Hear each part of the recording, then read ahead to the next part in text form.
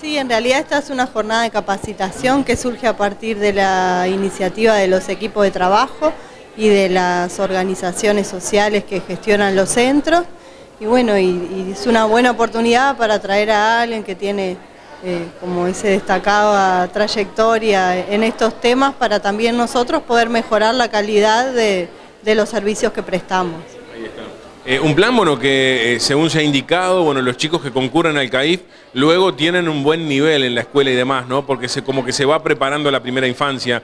Eh, ¿Es así? ¿Hay números? Bueno, ¿se tiene idea de, seguir desarrollando estos planes?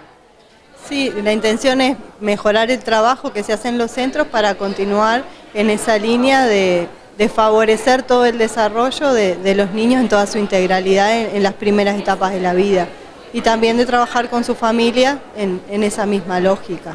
A veces no ha sido sencillo bueno, lograr instituciones que, bueno, que se hagan cargo, ¿no? Como quien dice, de, abrir centros CAIF, ¿sigue siendo una inquietud?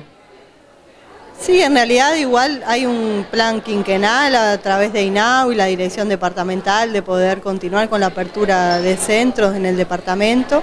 Y bueno, eh, lo que sí podemos decir es que ha sido una política social que ha dado resultados y por eso también por suerte es valorada no solo por las instituciones, sino también por las familias y por los niños. Por ejemplo, aquí en Libertad, en Puntas de Valdés, bueno, hay cada vez más familias ¿no? que, buscan llevar a sus chicos.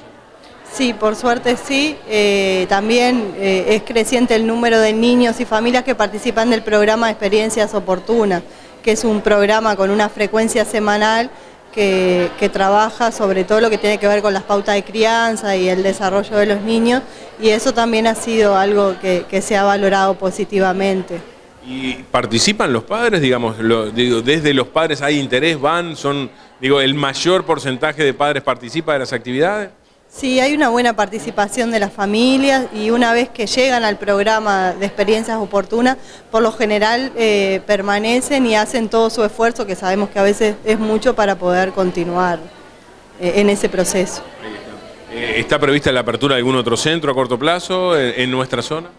En realidad sí hay un plan quinquenal, como te decía hoy, pero quien maneja esas cosas es la dirección departamental y y, bueno, sí, eh, hay en el plan ya eh, un centro en etapa de construcción en Ciudad del Plata y, y va a haber otras aperturas seguramente en este quinquén.